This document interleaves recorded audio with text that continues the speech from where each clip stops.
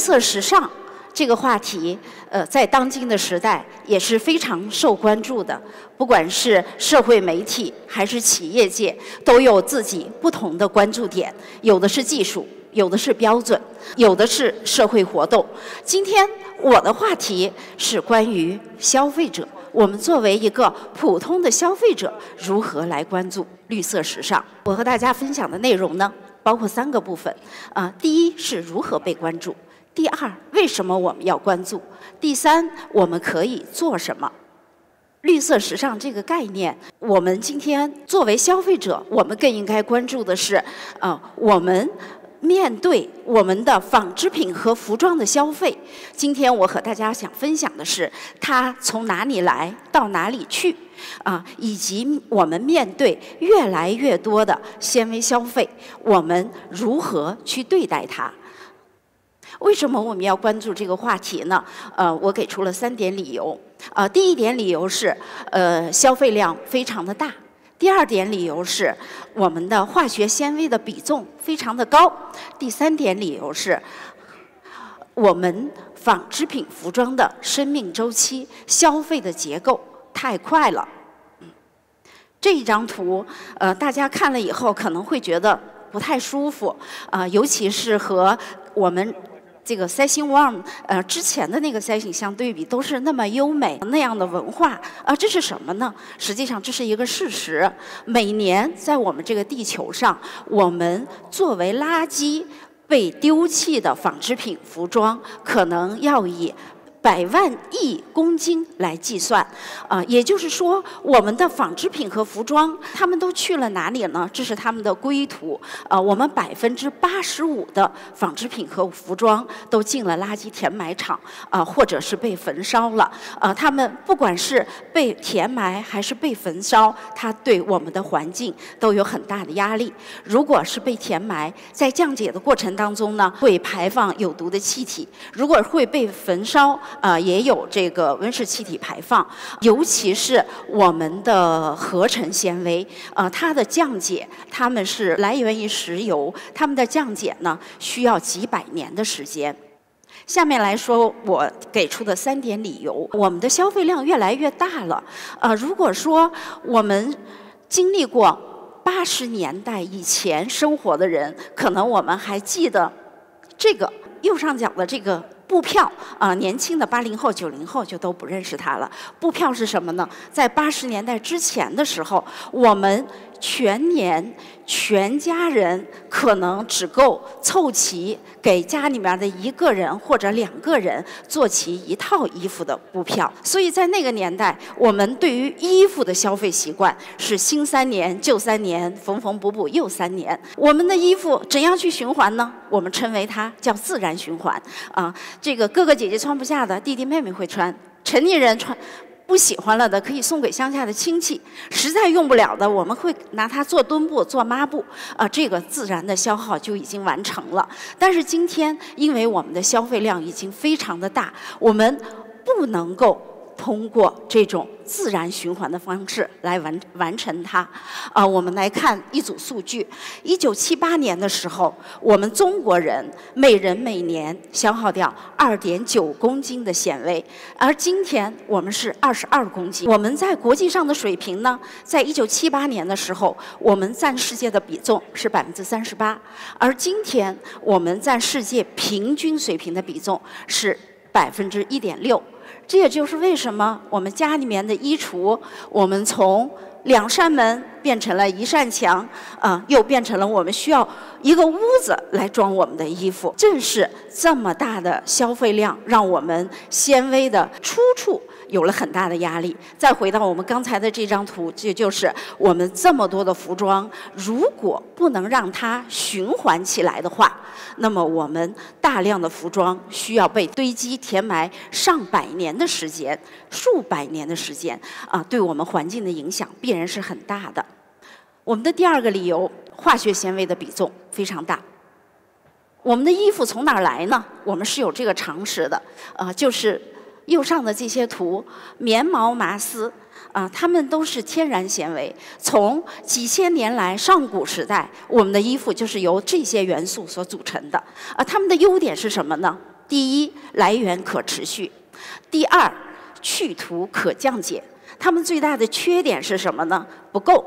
啊，我们今天是不能满足我们地球上这么多人穿衣服的需求的。所以在今天这个时候，我们的衣服主要的是靠这些原材料来保障的。就是我们的化学纤维。中间这个数据我们可以看到，在一九八零年的时候，我们纤维结构里面，这是我们中国的纤维结构。我们中国的纤维结构里面，百分之八十五是天然纤维，就是我刚才说的可降解、可持续。在今天二零一八年的数据，百分之八十五是化学纤维。啊，我们化学纤维的优点是解决了我们全球。八十多亿人的穿衣问题，它最大的缺点就是不易降解。我们这也就是今天我们要来探讨我们的衣服从哪里来到哪里去，我们如何建立绿色消费态度的原因。第三个想分享的原因是，我们的衣服它有它合理的生命周期。这张图展示了我们一件衬衫。从棉花到纺纱到织布啊，到印染，到最后成衣的一个流程，它的流程可能经历了几十道工序。如果从空间上来讲，我们纺织服装行业是一个高度世界协同的行业。画了一个示意图，以一条牛仔裤为例，它的原料可能来源于。美国啊，它可能在越南纺成了纱，在我们的广东完成了面料的印染，在我们的江西劳动力相对便宜，完成了缝制，然后又从我们浙江的某个口岸到了欧洲的柜台，进了我们消费者的衣橱，这个周期是几个月。所以我们认为我们的衣服有合理的生命周期，它不是一次性的消费品，它更没有任何理由在还没有被穿、被使用过就消耗掉了。以上这几个理由呢，实际上就是告诉我们，我们的衣服从哪里来？呃，我们有这么大的量怎么办？嗯，但是我们经济发展了，生活水平提高了，对美丽时尚的追求是我们每一个人，尤其是每一个正中国人正当的理由。那么，我们应该如何去平衡这个时尚和绿色呢？啊，在这里，也就是怎么做？啊，我从我个人的角度也给出三点建议。第一，从我做起。第二，我们呼吁社会建立良好的秩序。第三，科学界有一些难题需要我们合力去推动。绿色的消费态度，呃，我想我们每一个人，我站在这里的原因就是和大家产生一个共鸣。我们每一个人都有义务去建立一个绿色的消费态度。啊，我想分享的是我的绿色消费态度是什么，可以给大家一点小小的借鉴。我的态度是选择经典款式，用心搭配，巧手改造。经典款式，我个人的理念，什么是经典款式呢？合适、和谐，有自己的个性。什么叫合适？啊，我们都是呃工作女性，可能办公室。呃，出差以及开会是我们的常常态，所以当你选择每一件衣服的时候，你要想到它是不是合适我的时间和地点。如果它是合适的，我就买；如果是不是合适的，那就是我没有穿着它的场景，最好就不要买。当然，它要有合适的款式、合适的版型，适合我自己，这是第一个原则，合适。第二个原则，和谐，和谐。是我们搭配的基本原则啊！我们穿衣服都要讲究搭配。首先是色彩的和谐，我们要懂得一些基本的色彩和谐的知识。我相信，尤其是女性朋友，一定都是有的啊。黑白灰是最安全的基本色。我今天穿了两个啊，灰和黑。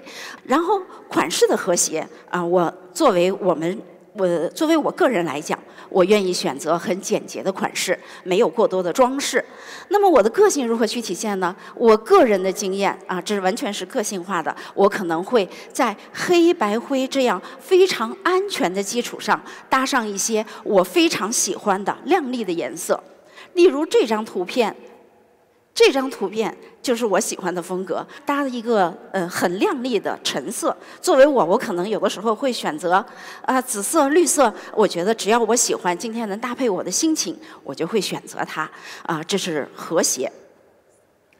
还有作为我们生活的技巧，啊，我们要懂得去呃旧物改造。延伸我们纺织品服装的生命周期。对于这个改造这件事情，我从很小的时候就有一个心得。很小的时候，那个时候生活还比较困难，家里面妈妈都还习惯于织毛衣。嗯，我的妈妈呢，就用爸爸的灰色的毛背心。拆了，给我织了一件毛衣，然后这件事情让我不开心，为什么呢？第一，它是灰色的，不是女孩子喜欢的颜色；第二，它是旧的，啊，可能妈妈了解了我这个心情，所以这件毛衣到达我我手上的时候，有一个意外惊喜，因为妈妈在这件毛衣上绣了两朵玫瑰花，就这两朵玫瑰花，让我的这件旧毛衣绝不逊色于小伙伴的新毛衣。这是我在儿童时代对于改造的。认有了一个初步的认识，在今天，实际上我们有很多时尚人士，有很多专业的时尚改造技术，我们可以专门的去学习。图示里面是两个举例啊，一条我已经可能穿了好几年的花裙子，配上了一个呃领口腰际的改造，它就有崭新的面貌；一条长裙进行的裁剪，它就变得很简洁，可以适用于其他的场合。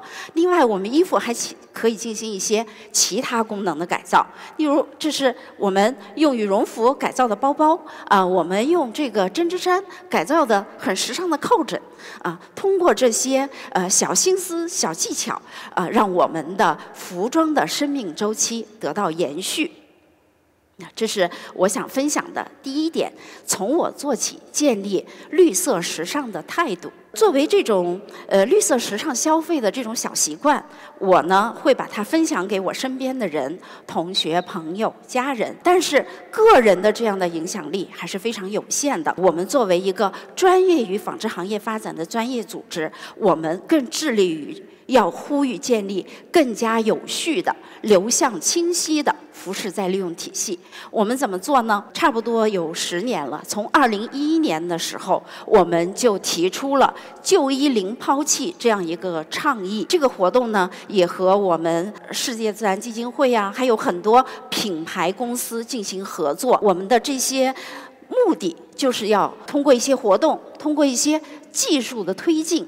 能让我们的消费者，让我们的社会大众认识到这个问题，呃，重视这个问题，为自己找到一条路径。实际上。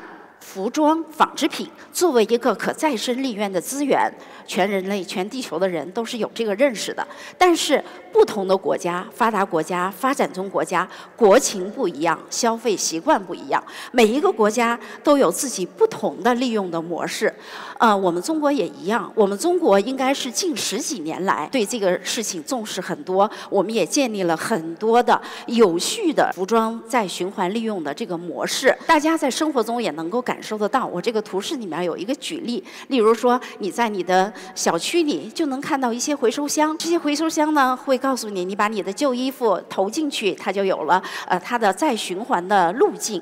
呃，这些回收箱呢，有的是政府做的，有的是品牌做做的，也有的是一些社会机构做的。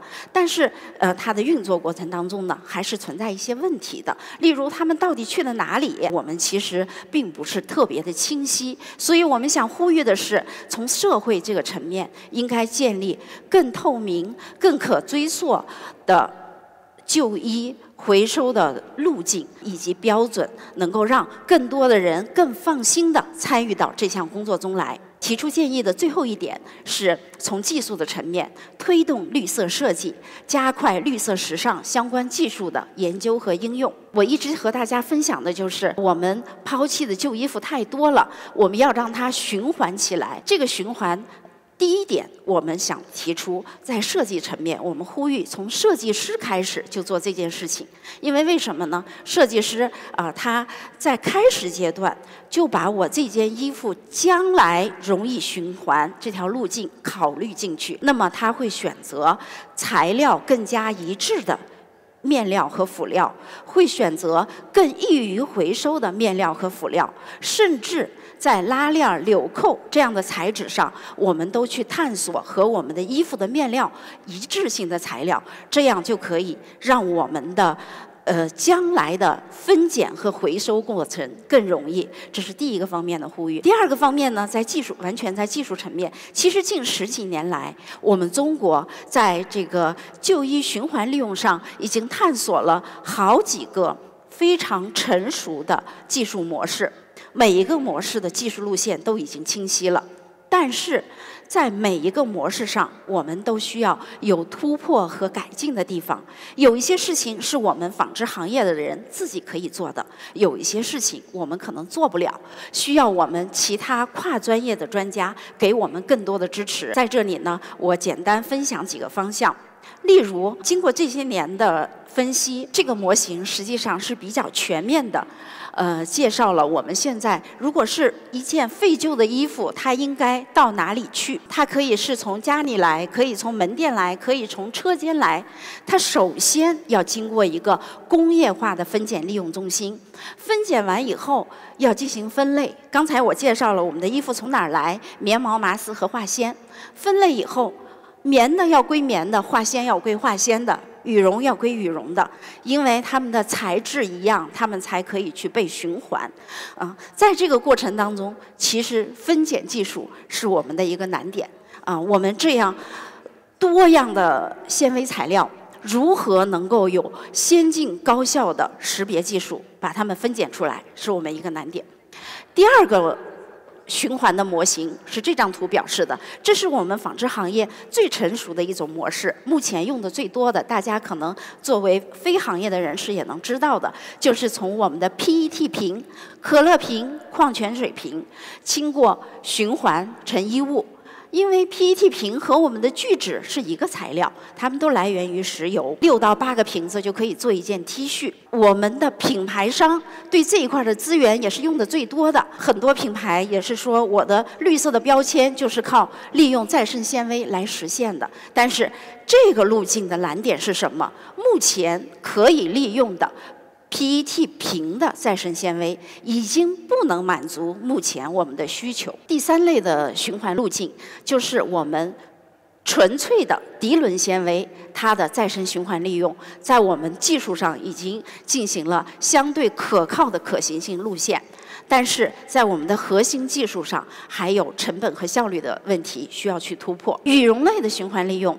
也是我们现在和一些品牌企业已经在做的事情，取得了卓有成效的利用。但即便是在这个领域，我们也呼吁，就像我刚才说的，希望在设计师的环节，在这个产品生命周期初始的制造和设计环节，就能够考虑到它将来的易循环、可利用。这样，我们在进行拆解。分拣和再循环的时候，技术就容易去操作，成本也容易去控制。啊，这是我们现在在做的一些对这个羽绒产品如何进行破解、分拣、分级，然后除杂，重新再填充到我们羽绒制品当中的一个示意图。总之呢，我今天的分享，呃，想简要的介绍就是我们纺织品服装从哪里来。到哪里去？面对我们这么大的消费量，面对当今这个环境下，我们时尚的多元化、理性消费的这样一个时代，作为我们每一个个人，应该为自己选择一个怎样的绿色时尚消费的态度？希望能有所启发。谢谢。